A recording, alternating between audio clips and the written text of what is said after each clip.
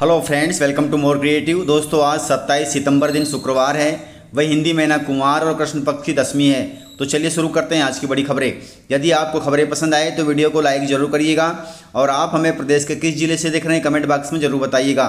दोस्तों, यदि आप चैनल पर नए हैं तो चैनल को सब्सक्राइब कर बेल आइकन पर क्लिक कर दें ताकि अगला वीडियो आपको शीघ्रता से मिले। आप हमारे फेसबुक और इंस्टाग्राम पेज को फॉलो करना ना भूलें।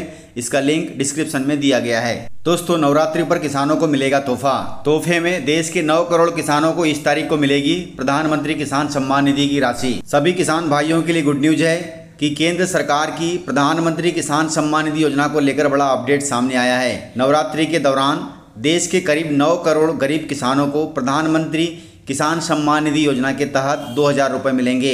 सरकार ने इसके लिए तारीख की घोषणा कर दी है। पीएम किसान योजना की वेबसाइट के मुताबिक अठारहवीं किस्त पाँच अक्टूबर को प्रधानमंत्री मोदी जारी करेंगे। अर्थात अठारहवीं किस्त के पैसे पाँच अक्टूबर को आएँगे।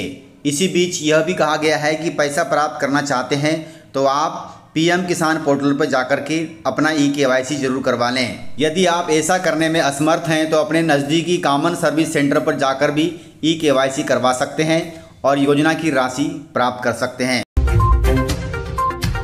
24 लाख से अधिक लाडली बहनों के लिए बड़ी खबर है। इन सभी लाडली बहनों को साढ़े चार सौ रूपए में मिल रहा है रसोई गैस सिलेंडर का लाभ। वहीं एक करोड़ उनतीस लाख लाडली बहनों के खाते में अगली किस्त की राशि अक्टूबर में आएगी।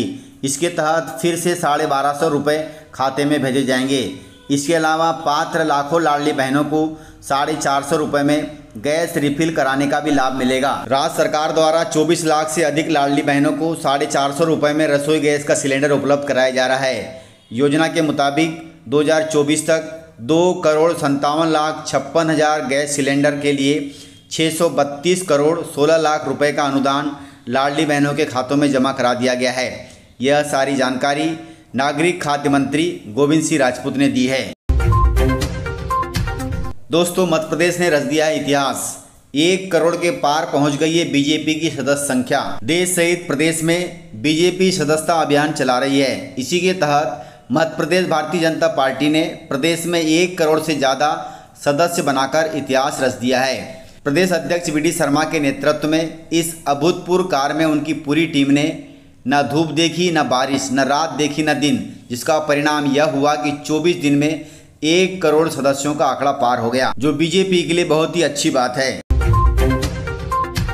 दोस्तों, इंदौर में नशा करने वालों पर फूटा मंत्री कैलाश विजयवर्गीय जी का गुस्सा। इंदौर में नशा करने वालों की संख्या बढ़ती जा रही है। इसके चलते कैबिनेट मंत्री कैलाश विजयवर्गीय ने बड़ा गुस्सा ज़ाहिर किया है। उन्होंने पुलिस को सख्त हिदायत दी है कि नशे के कारोबार में पकड़े गए लोगों को उल्टा लटका दिया जाए। इसी के साथ उन्होंने शहर में कम कपड़े पहनकर घूमने वाली युवती का भी उदाहरण देते हुए कहा कि माँ अहिल्या की नगरी इंदौर को हम बिगड़ने नहीं देंगे। कैलाश विजयवर्गीय जी ने कहा कि इंदौर की संस्कृति को कोई खराब करने की कोशिश करेगा तो उसे हर हाल में रोका जाएगा।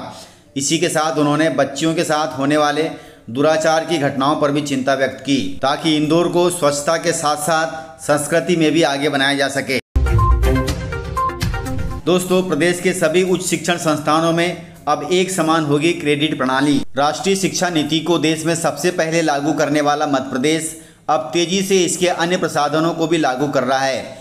जिससे यहाँ एजुकेशन क्वालिटी में बहुत सुधार हो चुका है। इसके परिणाम स्वरूप विद्यार्थियों का सर्वांगीण विकास भी हो रहा है। वहीं नए अध्यादेश लागू होने से सभी उच्च शिक्षण संस्थानों में एक समान क्रेडिट प्रणाली हो जाएगी। यह जानकारी उच्च शिक्षा मंत्री इंदर सिंह परमार जी ने दी है। दोस्तों, मध्य प्रदेश के सलकनपुर मंदिर परिसर में बेचे जा रहे लड्डुओं की शुद्धता की गारंटी नहीं है। इनसे आती है अजीब महक, जो श्रद्धालुओं के लिए बहुत ही खतरनाक है। तिरुपति बालाजी मंदिर में लड्डू में जानवरों की चर्बी मिलाने का मामला लगातार तूल पकड़ रहा है। इसी बीच अब मध्य प्रदेश के सीहोर ज़िले में मौजूद सलकनपुर देवी धाम में मिलने वाले लड्डुओं की गुणवत्ता पर भी सवाल खड़े हो गए हैं। यह सवाल खुद सलकनपुर ट्रस्ट समिति के द्वारा उठाए गए हैं। समिति की ओर से कहा गया है कि सलकनपुर मंदिर प्रांगण में बेचे जा रहे लड्डुओं से अजीब सी महक आती है।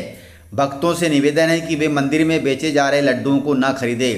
इसकी गुणवत्ता की गारंटी हमारी नहीं है। इस संबंध में मंदिर परिसर ने कलेक्टर साहब को लिखित आवेदन करके शिकायत की है। ट्रस्ट समिति ने लिखित आवेदन देकर कलेक्टर साहब को बताया कि सलकनपुर मंदिर परिसर में मंदिर का लोगो लगाकर स्व सहायता समूह द्वारा प्रसाद के रूप में बेचे जा रहे लड्डुओं की शुद्धता की कोई गारंटी नहीं है। लड्डुओं में किस तरह की सामग्री का उपयोग किया जा रहा है, इसका भी कोई प्रमाण नहीं है। वहीं दर्शनार्थियों ने कई बार इन लड्डुओं की शिकायत भी ट्रस्ट से की है। जिसमें बताया गया है कि लड्डुओं से अजीब सी महक आती है। वहीं अब मंदिर समिति ने लड्डू बेचने वालों से कहा है कि किसी भी बाहरी संस्था द्वारा मंदिर प्रांगण में मंदिर का मोनो लगाकर लड्डू बेचना प्रतिबंधित है। ऐसे में इसे तत्काल बंद किया जाए, क्योंकि यह मंदिर की प्रतिष्ठा से जुड़ा हुआ मामला है। दोस्तों, प्रदेश सहित उज्जैन में चल रहा है स्वच्छता पखवाड़ा। जो प्रधानमंत्री के जन्म दिवस से शुरू होकर 2 अक्टूबर तक चलेगा। स्वच्छता ही सेवा अभियान के तहत उज्जैन ज़िले में स्वच्छता संबंधी गतिविधियाँ निरंतर रूप से जारी हैं। गुरुवार को उज्जैन कलेक्टर नीरज कुमार सिंह के निर्देशन में ज़िले के सभी शासकीय कार्यालयों में सघन साफ़ सफ़ाई का अभियान चलाया गया। इसमें अधिकारियों तथा कर्मचारियों ने सुबह सात बजे से अपने अपने कार्यालय में एकत्र होकर सफ़ाई में भाग लिया और अपने कार्यालय की पूरी सफ़ाई की। वहीं उज्जैन कमिश्नर गुप्ता जी ने झाड़ू से भवन परिसर की सफ़ाई की, जबकि कलेक्टर साहब ने प्रशासनिक संकुल भवन के वाटर सप्लाई के मेन होल चेम्बर को खुलवाकर उसकी स्थिति देखी और वे स्वयं चेम्बर में उतरे और अच्छे से साफ़ सफ़ाई की। इस प्रकार यह बहुत अच्छा काम है और यह एक स्वच्छता के प्रति संदेश है, जो सभी पर लागू होता है। अर्थात इस स्वच्छता पखवाड़े में सभी को अपने आसपास की साफ़ सफ़ाई करनी चाहिए, चाहे वह सरकारी कर्मचारी हो या फिर आम नागरिक। दोस्तों, श्री अन्न के रकबे में तीन साल में हुई है प्रदेश में दोगुना वृद्धि। इसको लेकर मुख्यमंत्री मोहन यादव ने किसानों को दिए बधाई। मध्य प्रदेश में श्री अन्न के उत्पादन और उपयोग को प्रोत्साहित करने के लिए अभूतपूर्व प्रयास किए जा रहे हैं। वर्ष 2020-21 में जहाँ इसका रकबा सड़सठ हज़ार हेक्टेयर था, अब यह बढ़कर एक लाख पैंतीस हज़ार हेक्टेयर हो गया है। इसके चलते मुख्यमंत्री ने अन्न उत्पादक किसानों को प्रोत्साहित करने के लिए उन्हें बधाई दी है।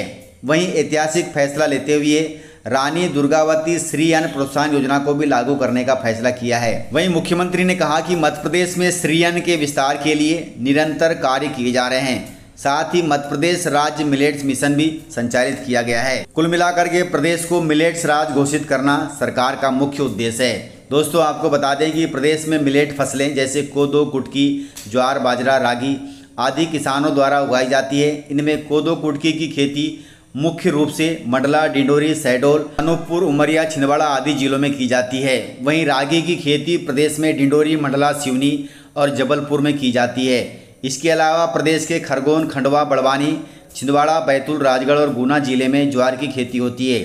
वहीं बाजरे की खेती मुख्य रूप से मालवा क्षेत्र में होती है। इस प्रकार प्रदेश के सभी क्षेत्रों में मिलेट्स की खेती होती है।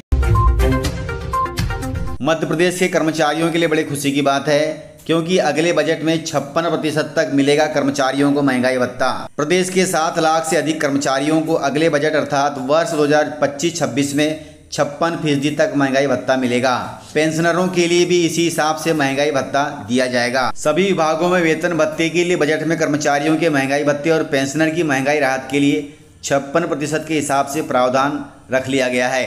हालाँकि अभी कर्मचारियों को छियालीस फ़ीसदी की दर से महँगाई भत्ता दिया जा रहा है, जबकि केंद्र सरकार ने इसे बढ़ाकर केंद्रीय कर्मचारियों के लिए 50 प्रतिशत महँगाई भत्ता कर चुकी है। वहीं कयास लगाए जा रहे हैं कि मोहन सरकार दीपावली के समय कर्मचारियों के महँगाई भत्ते को बढ़ा सकती है, जो कर्मचारियों के लिए त्योहार सीज़न में बड़ा तोहफा होगा। इस प्रकार से जानकारियाँ थी। तो मिलते हैं, सर। अगले वीडियो में तब तक के लिए जय हिंद, जय भारत, जय मध्य प्रदेश।